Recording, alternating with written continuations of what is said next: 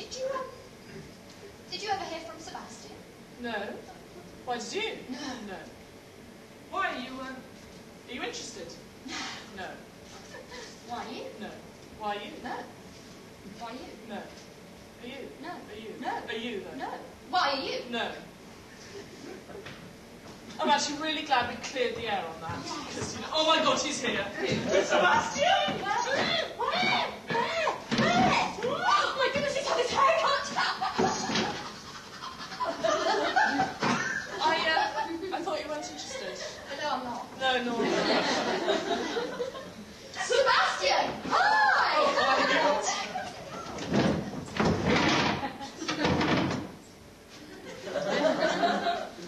So, uh, how's the job in fashion going, Chelsea? Oh, really well. Yeah? Thank you, yes, Sebastian. Oh, that's great.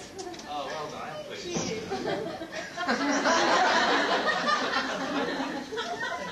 And uh, that TV idea you were... Oh, the weakest brother, coming on very nicely. Thank you, Sebastian. Yes, we've been auditioning some very weak brothers. Indeed. And there are just loads of other pictures going on. you know. Oh yeah, yeah, no, tell Sebastian about those other pictures you've got going on. It's really great. Okay. what an idea that I'm pitching at the moment. I'll get back to character in a minute. There's one idea I'm commissioning at the moment, and it's called, well, well, pet programs, very successful. Soaps, very successful. So here comes my idea. Coronation chicken. oh yes, and chicken soap. Brilliant. Yeah, you see, to me that Yeah. sort of sounds like the sweaty underside of a bollock kind of an idea. But you know, she's probably got the TV now. Yeah. I think I have yes. The thing is that you couldn't really pitch ideas, could you? Because no one would understand you, you know, being from the north. What do you mean? Well, you've got to be articulate in my business.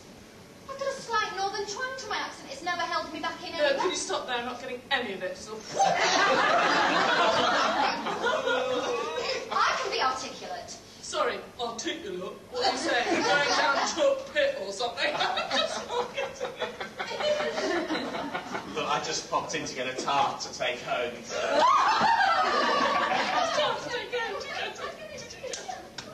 Why don't you stay and have a donut or something? Yes, they have a donut.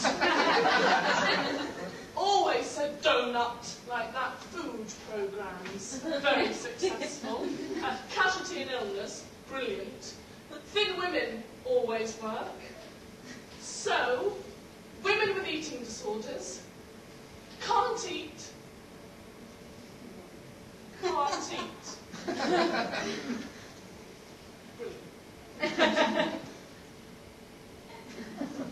okay. Well, um,